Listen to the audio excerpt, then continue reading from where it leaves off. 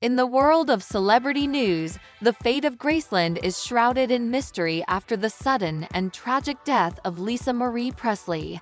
As the sole inheritor of her father's estate, Lisa Marie took care of the iconic home and the business that came with it after his passing.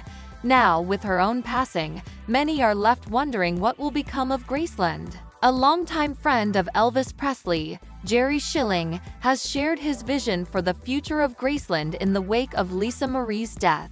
Schilling and Elvis were close friends, and he knows how much Graceland meant to Elvis. He hopes to preserve the treasured mansion as it has been for the last 45 years as a piece of history captured in time. Graceland, located in Memphis, Tennessee, is a historic mansion famously owned by Elvis Presley. It became his primary residence in 1957 and is now a popular tourist attraction and museum. The mansion itself is a stunning example of mid-century architecture, with distinctive features such as the famous jungle room and the elaborate TV room. Lisa Marie was laid to rest next to her son Benjamin Keough, who died in 2020, in the meditation garden at Graceland.